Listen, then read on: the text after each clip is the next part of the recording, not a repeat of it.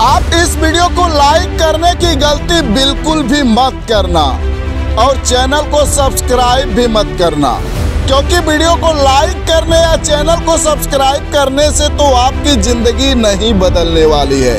लेकिन वीडियो को पूरा देखने के बाद एक काम ज़रूर से करना, जो आगे इस वीडियो में अब बताने जा रहा हूँ। आप भले ही यह नहीं तय कर सकते कि आपकी ज़िंदगी में कैसी परिस्थितियाँ, कैसी चुनौतियाँ आएगी। लेकिन आप यह ज़रूर तय कर सकते हैं कि उन परिस्थितियों और उन चुनौतियों के प्रति आपका नज़रिया कैसा होना चाहिए। आज भले ही ये मुसीबतें, ये परेशानियाँ, ये चुनौतियाँ तुम्हें समंदर जितनी बड़ी लग रही होगी। लेकिन सच तो यह है कि हर जनरेशन को कभी न कभी कुछ बड़ा फ़ेज़ करना ही पड़ता है।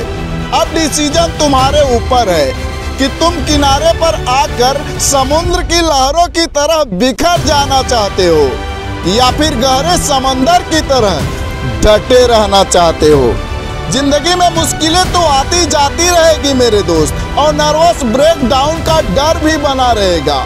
लेकिन अब इन सबसे तुम्हें बहुत आगे जाना है, क्योंकि ज़िंदगी में तुम्हें ही कुछ बड़ा करके दिखाना है। किसी भी इंसान के लिए सबसे इम्पोर्टेंट चीज़ क्या होती है? उसका सपना। इसलिए जो भी आपका सपना है, जो आपका गोल है, जो भी आपका लक्ष्य है, उसे पाने के लिए जान लगा दीजिए, मेहनत कीजिए। क्योंकि अगर आपने ऐसा कुछ नहीं किया, जो खुद पर गर्व महसूस हो तो फिर ज़िंदगी जीने का ही क्या फ़ायदा? याद रखना, ज़िंदगी डर डर के जीने के लिए नहीं है, बल्कि ज़िंदगी अपने सपनों के लिए, लड़ लड़ कर जीने के लिए है।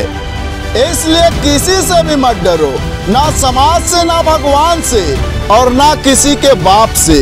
इंसान को बस एक बात से डरना चाहिए, कि अगर मरने से पहले हम अपना सपना पूरा न कर पाए, अपने गोल को अचीव ना कर पाए अपने बनाए हुए लक्ष्य तक ना पहुँच पाए तो दुनिया हमारी असली काबिलियत को कैसे पहचान पाएगी?